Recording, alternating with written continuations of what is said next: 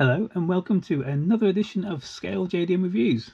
And on the bench today you can see that we have the Junction Produce JZS147 Aristo and is full of all the goodies that one of the original VIP tuners Junction Produce themselves um, could kit out a car with. Now I know that they released this particular kit before and it had the smaller 18 inch wheels in it. Now this kit as you can see on the front of the box emblazoned in bright gold is 19 inch which means this has the slightly larger uh, Junction Produce Scara wheels, which are made by Oz. And if we take a look around the box, you can see that this box is a little bit tatty. This is a Yahoo's auction win uh, from a little while ago. Um, it does come with the, uh, the, the standard VIP knots that you would normally get in a in a VIP style car. And of course, there's 19 inch wheels and that beautiful body kit. Okay, so for the uninitiated, what you see here is a VIP style car. You can see it's got uh, body kit or ground effects, whatever you want to call it. It's lowered, it's got some really nice big alloys on it, and it's kitted out in a really nice, clean, subtle way. Uh, those are the things that are kind of the essence of uh, VIP. I mean, modern VIP, you know, you get some absolutely crazy cars out there. They've got mad camber, massive wheels, extremely deep dish, crazy paint coats um, and very, very, very low to the ground. Um, I mean, VIP, you know, when it started out was basically what you see on this box. It has evolved over the years, um, but obviously there are a lot of cars out there that are still true to its roots, uh, and this one is one of them. Uh, Junction Produce were one of the pioneers of the VIP style. They made a lot of cars, um, a lot of different body kits, and their kits always, always look fantastic. There are other manufacturers of kits for these big body cars. You've got Vleen, you've got K-Break, of course. I've done a review on their kits before. Uh, Rojam. There's there's there's many others uh, out there, and they all make the cars look fantastic. So, but in this video, of course, we're looking at the Junction Produce uh, Aristo here. Uh, so let's have a look and see what's inside the box. As you can see, the kit is completely unstarted. It's still in all its bags. So uh, in my usual fashion, give me a few seconds and we will take care of that. Right, let's get rid of this because we don't need that. Okay, so what we're going to do is going to look at the decals first. And here we go. As you can see on the screen, we have some silver pinstriping at the bottom. Junction Produce badges uh, on the left, number four and five. Uh, they would be for the side of the car. I think one's silver and one is gold. I think the gold's on the left here. These would be, I guess you could put them anywhere you want, but normally it would be uh, around the indicator maybe uh, side indicator, sorry, on the fender. Um, you've got some Junction Produce window stickers here, some smaller ones there. Um, you've got some other Junction Produce badges there. This black one here is for the, it seems to have a bit of a tear in that one. Uh, this black part here is for the back lights, so you don't have to paint them because that is a very, very thin line. It's not the sort of thing you want to be painting.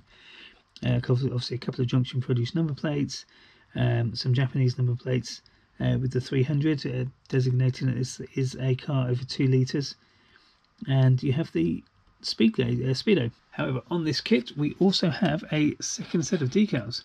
Now this is especially for the very sexy junction produce Scara wheels. Now these are the centre caps. Um, you should have them on screen now as a scan where you can see them in a little bit more detail.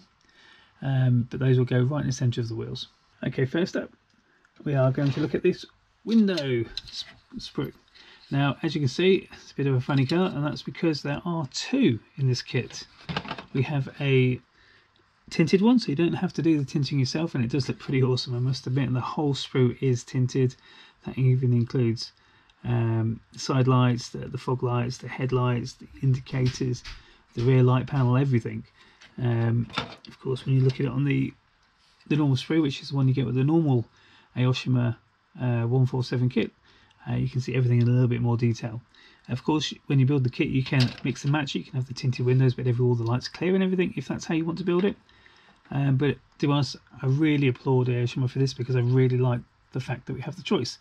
And I'm not so good at tinting windows, so having some already pre-molded in a tinted colour is uh, is a neat little step for me, and I do appreciate it. So just to go into a little bit more detail on the sprue. We're going to look at the coloured one. So you've got the, the main window, um, front, rear sides, and you can still see the slightly matted out section there where you'd have to paint the, the black of the, the window edges.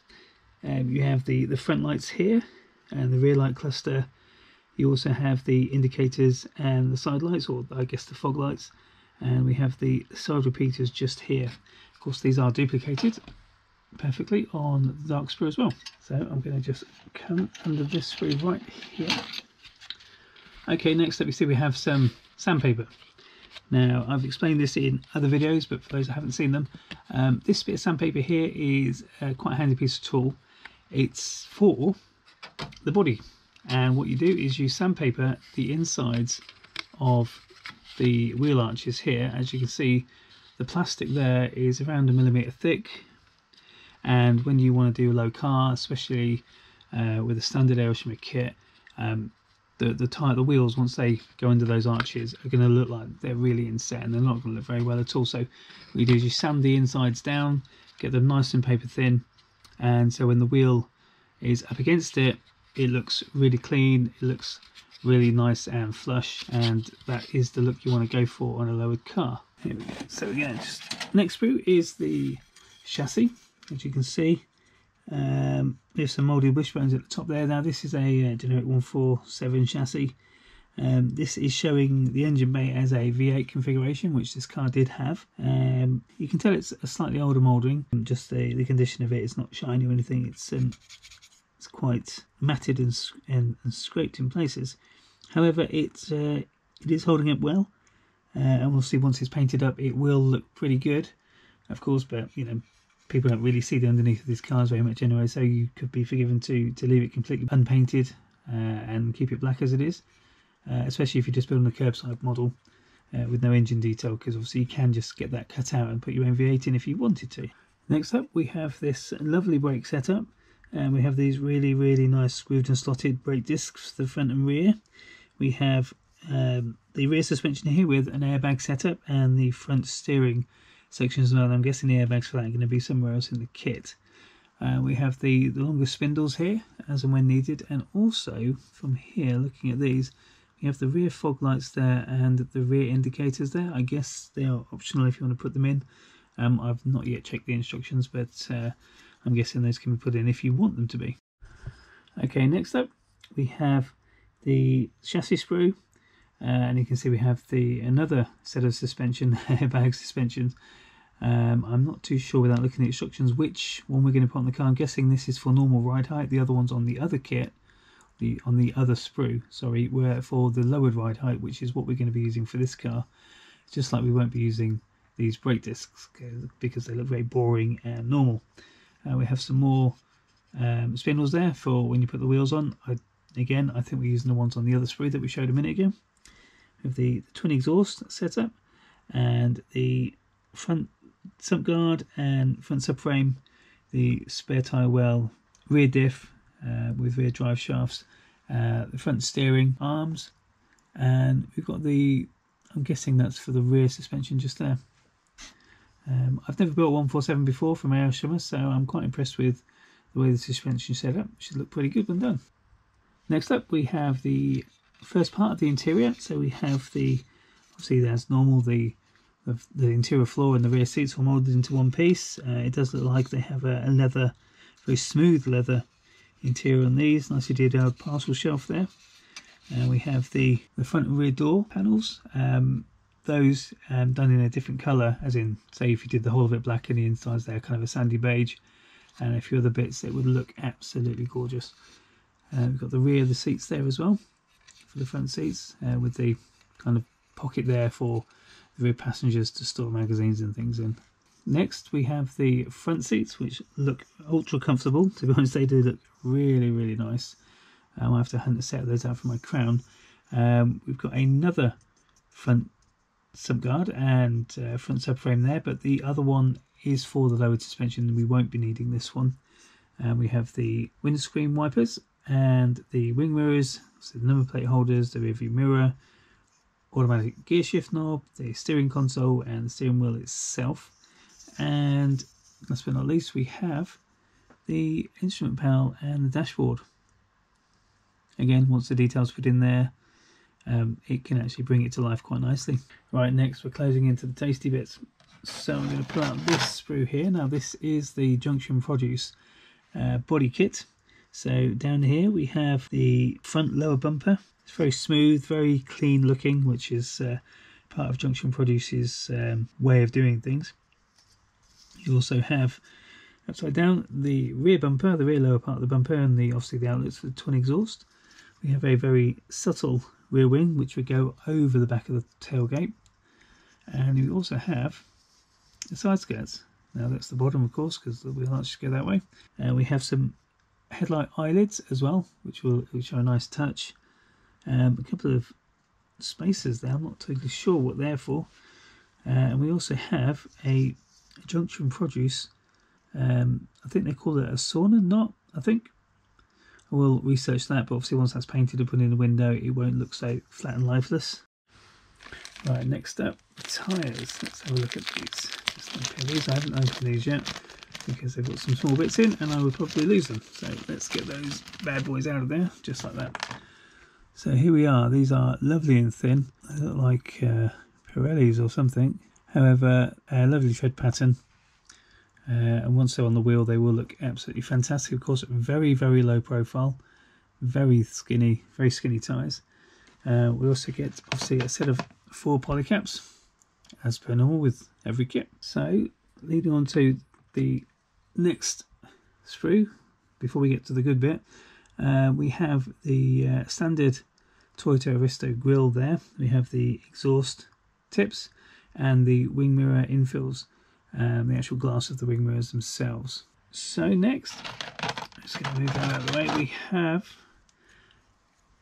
a slightly, slightly different version of the grille. This is the Junction Produce version, and we have the uh, much much nicer exhaust tips, as you can tell. Um, it's up to you, obviously, if you want to put the standard Toyota one on or if you want to use the JP item and JP tips. Obviously, how you build the kit is exactly up to you. Um, I personally will be using these because they're very tasty. So now, moving on to these gorgeous Junction Produce Scara wheels. Now these are the 19 inch versions, um, and as you can see, they are they've been molded and painted in a silver color, uh, which is nice because the actual lips themselves are molded and, and plated in chrome. So when you put them across like that and fit them together, just like that, we have a really, really nice set of wheels there. A stunning set. Um, the Scara wheels are one of my favourite wheels of all time, as I mentioned in a previous video where I did actually review the 18 inch versions. And we have those right here now with some tyres just to compare the size. As you can see the spokes are slightly longer on the 19 inch version. We just move the tyre out of those. And there we go. Side by side comparison of the two wheels. Now to everyone's favourite bit the body. Here we are really nicely moulded in black um, this is a classic Aristo shape. I really, really do love the shape of this car. Uh, this was the shape that they started to use more European lines with their car, very curved and uh, very executive looking. Obviously, the older Soarers were very angular and uh, very straight lines all over them. This is a lot more smooth, a lot, lot more relaxed looking. Um, there will need to be a lot of work done to this, obviously, to get it prepared properly. As you can see, there are some mold lines on the back coming down the bumpers, down the back lights. Oops, and he drops it. And across the front, just there as well. But that, apart from that, it doesn't actually seem too bad. It wouldn't be too difficult to get rid of those. And, and even if you made this kit with the JP suspension and the JP wheels and didn't even put the body kit on it, it would still make a really, really nice kit. Okay, so as usual at this part of the video, we're going to go into the instructions, show you how easy it is to make the kit or how difficult in some cases they can be. First page, you have the layout of the car, where you place the decals, including the pinstripes, uh, a general look of the car, those uh, wheels and tyres don't match up to the warning of the car. So this is the smaller version, so the instructions haven't changed since they did the reissue of the new wheels. Um, next page, we have got the creation of the front steering with the with the Brembo brakes. There's grooves and slotted discs. They're fitting with the airbags into the front with the with the sub. It is showing the normal subframe on that car, and I'm pretty sure we would need to use the other one uh, that came with the kit. However, it will show us later on in the instructions if that's true or not. Obviously, you've got the rears as well, the lower part here. Again, when you fit those, they will be going on with with airbags. Uh, you've got the rear tyre well there, the exhaust and the, the bigger JP exhaust tips. Um, obviously got the rear diff and everything, and then it tells you about the wheels, putting them together because they were two-piece with a separate lip. Uh, the polycap, the wheel, the tyre, direction of tread, and where they go, which is kind of self-explanatory. Next we have the interior. So this can be painted up as uh, any way you want, depending on what you do with the colour of the car. Um, if it's going to stay black like this, you could either paint it bright white, as like a really nice contrasty white leather interior, or a black one, or anything you say feel is uh, what you're looking for. Uh, of course, you've got the colour coordinations it's showing here that I mentioned, with the with the different parts being a different colour contrast, and also we need to put the decal on the the dashboard there. Uh, again, it's showing you here the parts that need to be painted and uh, and where to put it on. It's also showing here, as you can see, four circles are where you are meant to use that sandpaper, and it is telling you there to sand it down. Now, with that little piece of sandpaper, which is a really nice addition from Aoshima, it will, it is possible, it will take you an absolute age.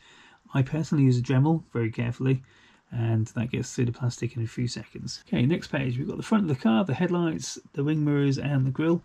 Of course, it's using the JP grill there.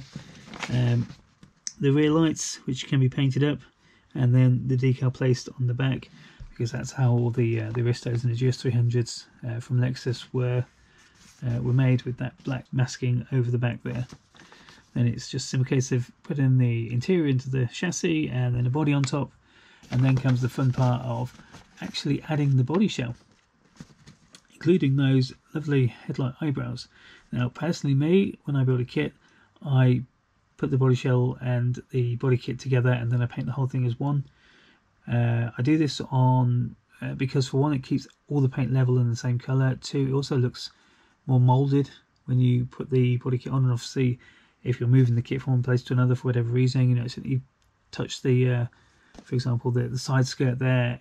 If it was glued on afterwards, um, it could come off because you've already painted the body you paint you're, you're gluing another painted piece onto a painted body shell it's not going to stick as well and you'll be able to tear it right off. So if you glue it all on as bare plastic and then do the painting um, it it tends to be a little bit more hard wearing and not so delicate. So we've got the rear spoiler and the rear bumper and then those alternate if you want to use them rear indicators and rear fogs. Of course those would be the, the rear fogs especially would be needed in the uk and in Europe and the side indicators I guess for the US market. Okay, on to the last page. So this is where we can see what comes with the kit, everything that comes with the kit and what is not needed. The non-needed parts are greyed out, as you can see the original brake discs. And funny enough, it says there that the uh, the more harder wearing front subframe is one we don't need and also that the airbag setup and front steering as we saw earlier we definitely wouldn't need that. And of course the new the old style grill. It's quite strange that it doesn't need that version. I'm guessing that's for a Kiwami style kit because the um, the harder wearing ones do come with the Kiwami kits. However in this kit we obviously don't use it. I'd like to see actually when i build the kit to see what the difference is going to be once i make the kit and use the other subframe which if i'm honest is just down here um, I'd like to see if it actually gives you any more camber, which the other versions on the other kits, like the Crown uh, GRS 184s, did, because um, they were slightly wider. Uh, obviously, you've got the other grayed out parts there, which are going to be for the, the front fogs. You've got the spindles here, and that is the lot. So I do hope you've enjoyed seeing inside the uh, the Junction Produce Aristo kit by Aoshima. Um, it is quite a hard kit to find. It took me a little while to get hold of this one, if I'm honest, um, and it was from Japan. So, um, if you if you're lucky enough to have one in your stash, or if you're lucky enough to get hold of one, enjoy the build. It's a beautiful car, and it will. And I've seen these built; they do look stunning. Um, so, if there are any other cars that you'd like to see on this channel, please put them in the comments below. Don't forget to subscribe, and also catch me on Facebook and Instagram So for me here tonight, I'm going to say good night, and I'll see you next time. Bye bye.